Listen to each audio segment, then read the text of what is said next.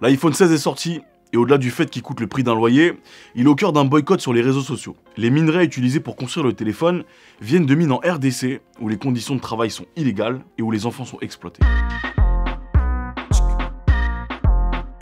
La République démocratique du Congo est le premier pays producteur de cobalt dans le monde. 60% des réserves mondiales se trouvent dans la province du Kivu, à l'est du pays. Et en 2019, 40% de l'offre mondiale de coltan a été produite en RDC. Et le cobalt, tout comme le coltan, sont des minerais qui sont utilisés pour construire entre autres les batteries des smartphones, notamment les iPhones. Le problème, c'est que dans ces mines, c'est vraiment l'enfer. Les conditions sont inhumaines et illégales carrément. D'ailleurs, on les appelle aussi les minerais du sang, c'est pour dire. Et dans ces mines, des enfants sont exploités. Selon l'Institut d'études de sécurité, environ 40 000 enfants travaillent dans les mines en République démocratique du Congo, souvent dans des conditions très dangereuses. Leur travail, il consiste à laver et creuser le minerai. Et ils sont également impliqués dans des petits trafics. Ils vendent du coltan à bas prix dans des villes près des frontières avec le Burundi, l'Ouganda ou encore le Rwanda. Et du coup, ces enfants, qui effectuent des tâches normalement réservées aux adultes, ils sont exposés à de nombreux risques, notamment le harcèlement et les abus. Faustin Katanga, un leader de la société civile à Bukavu, a déclaré que les mines de coltan sont souvent le lieu de prostitution, de maladies sexuellement transmissibles et de viols. Il faut savoir aussi que ces enfants,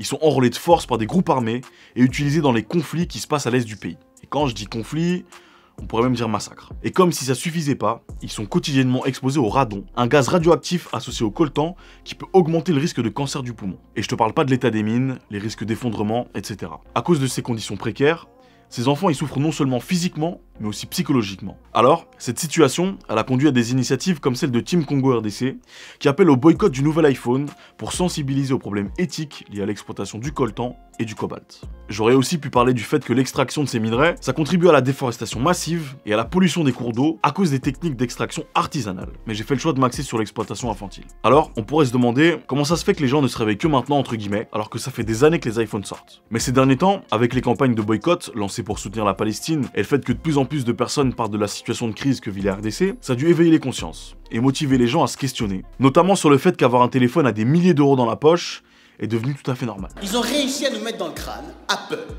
que 800 euros pour un téléphone, c'est normal.